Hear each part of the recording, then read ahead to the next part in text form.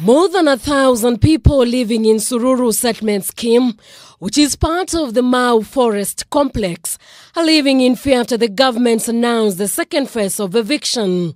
Yesterday, 2,000 people who sued the government in 2018 met with lawyers and surveyors in an effort to determine the boundary between the forest and the settlement scheme.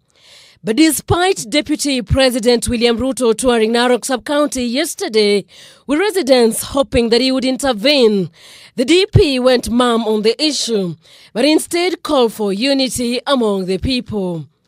Senate Majority Leader Kipchumba Murkomen was at a church function with Professor Chepkwony in the neighboring Kericho County, demanded that President Uhuru Kenyatta intervenes in the matter to avert a looming humanitarian crisis. Rais Uhuru Kenyatta na naibu wake William Ruto walichaguliwa kuwa rais na naibu kwa vitu viwili tu. Namba one, ili kuunganisha Wakenya baada ya post-election violence na kuhakikisha ya kwamba wale ambao walifurushwa kwa nyumba zao wamerudishwa na wananchi warudiane wakiwe kitu kimoja. Namba two, waliambiwa na wao wenyewe ni walileta ajenda kwa Wakenya walisema watasettle watu wa Mao, watu wa Kikurere Nandi na watu wa Embu kwa Elgeyo Marakwet County. Waliombea kura mambo ya Mao na mambo ya post election violence.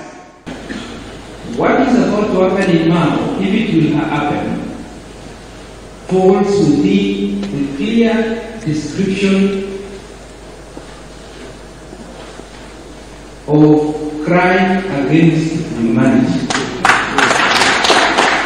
The impending eviction of 60,000 families settled along the Mau Forest complex has been mutating into a fight of titans, with 35 prominent lawyers from the Rift Valley region moving to court to thwart the government's action. Should the government proceed with the eviction more than 10,000 school-going children in 31 schools in Ololulunga, Melelo, Sogoo, and Sagamian wards in Narok County will be affected.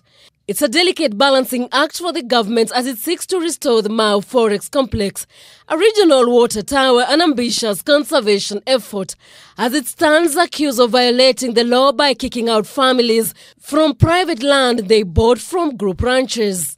Angela Cheror, K24 Newscut.